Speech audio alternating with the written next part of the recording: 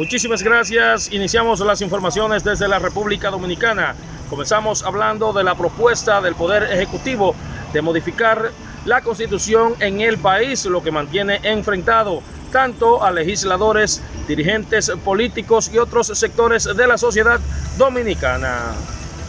Con el objetivo de lograr una gestión con mayor transparencia, el gobierno dominicano a través de ética e integridad gubernamental lanzó la primera política nacional de datos abiertos con la que pone al servicio de la ciudadanía las acciones gubernamentales vía las informaciones. Y eso hace este gobierno, pero hacerlo con transparencia, sin esconder nada.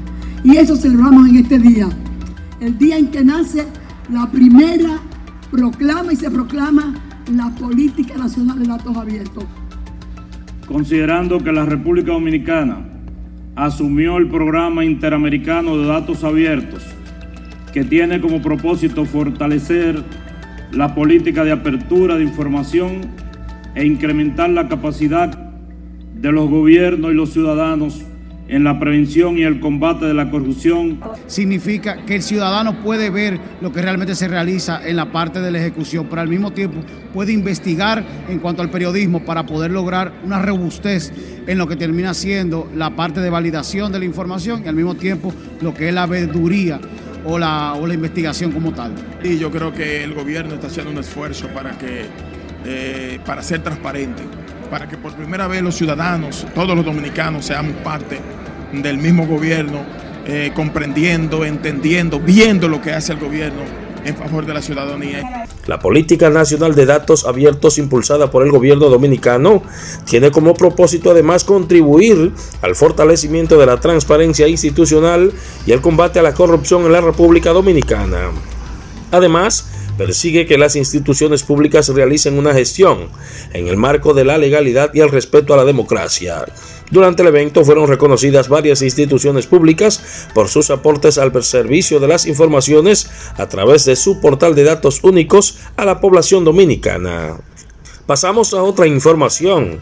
Y es que mientras el Poder Ejecutivo, legisladores y partidos políticos se mantienen enfrentados por una eventual reforma a la Constitución, el presidente de la República, Luis Abinader, llamó a los partidos a retomar el diálogo para consensuar la pieza a lo interno del Consejo Económico y Social, a la vez que aclaró que esta iniciativa no aborda la elección presidencial, como se mantiene el temor al respecto. Ambos de los que están hablando han modificado la constitución y la han modificado específicamente para cambiarse realmente los términos de su elección. Ese no es mi caso.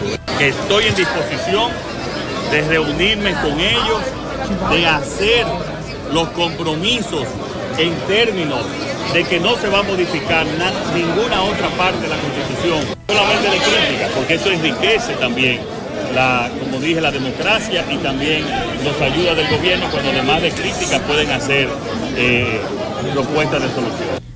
En tanto, el Senado de la República, en la persona de su presidente Eduardo Estrella, califica de precipitada la decisión de las organizaciones políticas de retirarse del diálogo, sin embargo llama a reconsiderar su decisión y consensuar la iniciativa. Pasamos a otra noticia y es que el expresidente Leonel Fernández reaccionó a los posibles impactos que podría repercutir en varios países del mundo el conflicto bélico que mantienen Rusia y Ucrania. En ese sentido, el exmandatario dominicano ponderó los esfuerzos del gobierno en brindar apoyo a los nacionales de ambas naciones varados en la República Dominicana, muchos en condiciones de turistas que agotaron sus estadías en centros vacacionistas. Algunos ya se les acabó su tarjeta de crédito, o sea, la tarjeta ya está cancelada. Por consiguiente, estén aquí o estén en Polonia, tienen serias dificultades para lograr sostenerse en los días inmediatos. El espacio aéreo de Rusia está cerrado. En segundo lugar, los barcos eh, rusos no pueden llegar a ningún puerto europeo. La bandera en un barco ruso no puede llegar. Eso significa, obviamente, una situación que va a afectar la economía europea y por consiguiente la economía global. Algunas fundaciones como la Tony Cabeza Fernández en el Ceibo y en otros puntos del país han asumido a decenas de esos extranjeros para darle alojamiento ante el conflicto que mantienen sus naciones. Han sido estas las informaciones presentadas desde la República Dominicana. Yo soy Jesús Camilo para América al Día. Hasta la próxima.